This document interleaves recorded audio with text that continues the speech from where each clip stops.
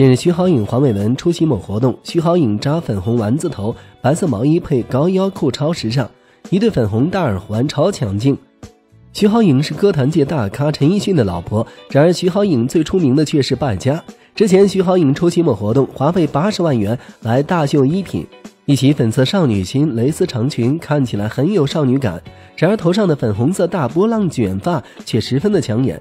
但却很难让人理解，乍一看跟金毛狮王似的。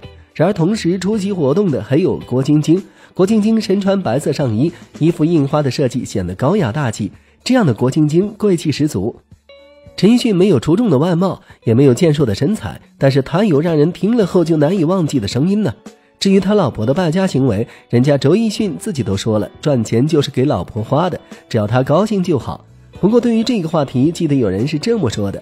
你看他那么丑还能成为歌手，你就知道他有多厉害了。确实，在这个如今遍地都是帅哥美女的乐坛里，陈奕迅是不够出众的。不仅没有帅气的外表，也没有酷酷的气质，偏偏身材还有点胖，头发还有点卷，而且还老是乱糟糟的一团堆在头上。